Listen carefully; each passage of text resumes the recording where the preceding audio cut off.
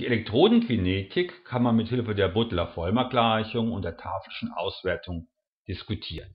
Wir haben hier den kathodischen Bereich der Stromspannungskennlinie einer Elektrode mit entsprechenden Potentialen und Stromdichten.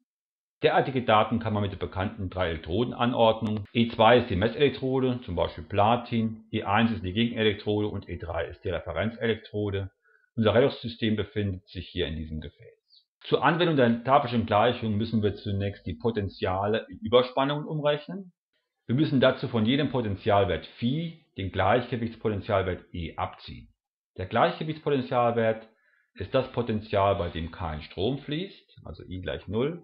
Aus der Potentialskala von 400 bis 150 wird dann die Überspannungsskala von 0 bis minus 250.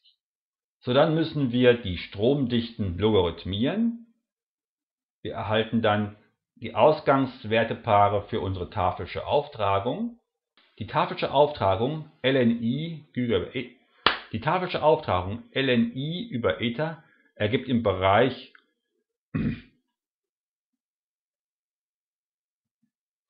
Die Tafelsche Auftragung lni über Eta ergibt bei nicht allzu kleinen Überspannungen eine lineare Kurve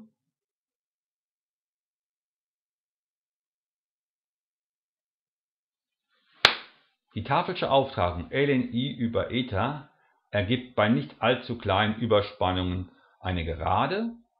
Aus der Steigung der Gerade können wir den Durchtrittsfaktor α ermitteln. Der Achsenabschnitt der Gerade entspricht dem Logarithmus der Austauschstromdichte. Wir erhalten einen Durchtrittsfaktor von 0,58 und eine Austauschstromdichte von E hoch 1,5756, also 4,83 mA pro Quadratzentimeter